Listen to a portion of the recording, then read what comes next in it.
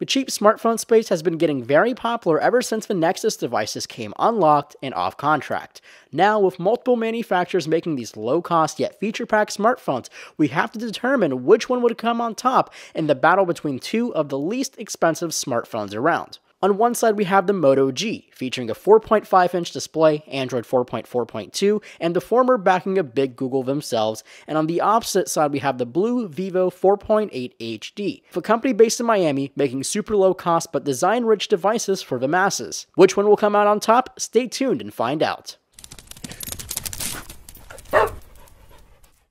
These two devices may not have the pedigree of something like the HTC One versus Samsung Galaxy S4, but it's a battle of its own. The price difference between these two are pretty large, but at time at launch they were much closer. The BLU Vivo 4.8 HD comes in at $239 unlocked, while the Moto G can be had for $100 off contract as a prepaid device for Verizon Wireless. It's one of the best deals to date to grab this device. The Moto G features a 4.5 inch IPS LCD panel with a resolution of 1280 by 720, which means 326 pixels per inch. Inside, you'll find a 1.2 GHz quad core Snapdragon 400 processor, 1 GB of RAM, and the Adreno 305 GPU. The BLU Vivo 4.8 HD has a 4.8 inch 720p Super AMOLED display, a 1.5 GHz quad core MediaTek CPU, 1 GB of RAM, and a PowerVR GPU. They have generic names because they are cheaper CPU and GPU sets, but they do the job and run the ROM. If I were to choose which display would be best, it would be the Moto G hands down. IPS is a plus and the colors are fantastic. The AMOLED on the 4.8 HD feels a little warm and the whites look more yellow and orange to my eyes while the IPS just looks fantastic from all angles. These two are very polar opposite when you consider the sizes of these two. The BLU Vivo 4.8 HD comes at a razor thin 6.9 millimeters and weighs absolutely nothing compared to the bigger Moto G. Much bigger and heftier at 11.6 millimeters but the G does feel more compact and higher quality than the BLU Vivo 4.8 HD, but at 11.6 millimeters, it's one of the thickest smartphones currently around. I'm not a fan of bezels. They rob space, which would be used for two things, either screen real estate or device shrinkage. The BLU Vivo 4.8 uses its bezel for,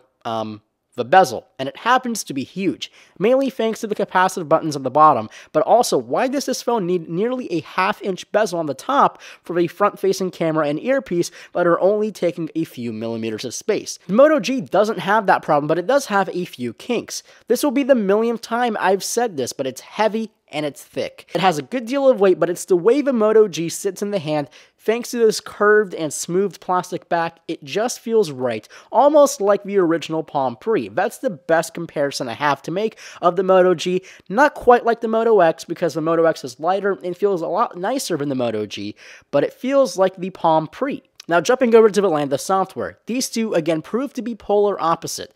They both run Android, obviously, but since the Moto G runs almost a bare bone version of Android, it's now running Android 4.4.2, while the poor, heavily customized BLU Vivo 4.8 HD is running only Android 4.2.1 Jelly Bean. The experience on the G is sort of dull, but also very smooth and fast. KitKat has proved to be a very minimal software to run on hardware, which means you can devote more of the processor to the apps rather than the software and the skin. The custom skin on the Vivo 4.8 HD is not bad on the surface. Things like the notification tray look almost identical to the stock form of Android. The big differences come when you dive into this phone's menu pages. On the BLU, you have this complete opposite look from Google's take on how the software looks, and it feels like it's having two softwares or two design languages running at the same time. Even all the BLU custom apps carry different design languages that vaguely match each other but does not match any of the normal Android ROM.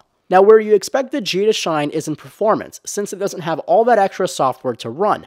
I thought so too, but even with Geekbench scores, both single core and multi core runs will put the BLU ahead by a few mere points. However, real world performance, like opening the same applications like Google's Chrome or Temple Run, also spawn identical times in startup. These are not going to beat your $700 G2, but they are powerful enough. So if you're looking for a winner, you may be disappointed. I would say go for the cheapest one to buy, and right now, that's the Moto Lenovo G. See what I did there? Huh? Well, thank you for watching. Please hit that subscribe button and also that like button, and also follow me on Twitter at phonedog underscore Marco, and I'll see you guys in the next video.